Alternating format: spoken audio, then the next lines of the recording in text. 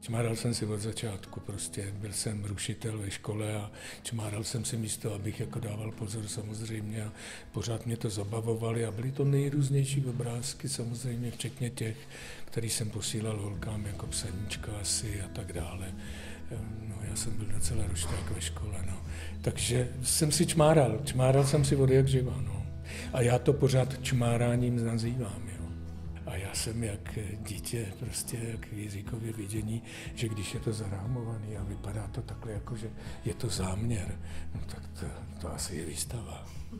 Některé věci, jako že si namaluju divadlo, konec představení, nebo že si namaluju nedoručené dopisy, nebo že si namaluju šílenýho letce, který neví, jak ten let dopadne, nebo že si namaluju rozmarný léto, ona se mi ta moje žena moc nepovedla. No.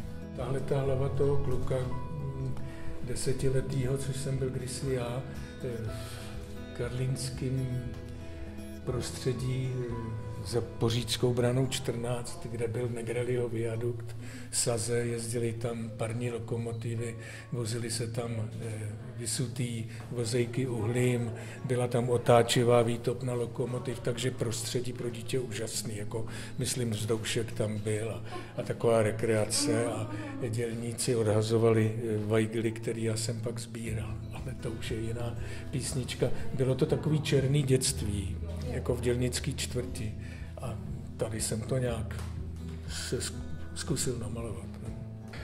no ono je to takový hokus pokus, já většinou začnu a nevím co. A když dovolíte, jo, tady len, to jsem si myslím někde čmáral taky v divadle a zase mě tam vles ten šašek s tou baterkou, která má barevný světýlka, on je mění, pak je to tady taková ta podivná fantazie toho chodícího reflektoru a základní samozřejmě nástroj divadla na připevňování eh, kulis je vrtík, že jo? to je prostě mm, základní.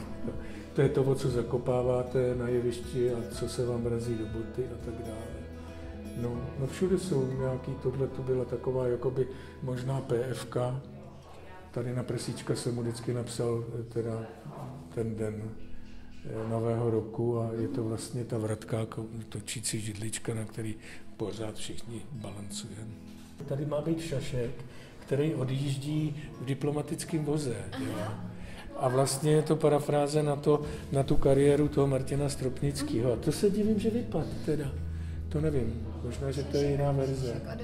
No a jelikož Martin Stropnický hrál právě krysaře v divadle na Vinohradech výborně, v Kačerově režii, tak místo těch krys jsem tam dal mobilní telefony, eh, který bychom měli vyvést z města Hameln, abychom se jich na dobro zbavili. No, a tenhle ten zase chce odve zničit televizi, no. Médiu, média. No tak jo, tak moc děkujeme. Já vám děkuju.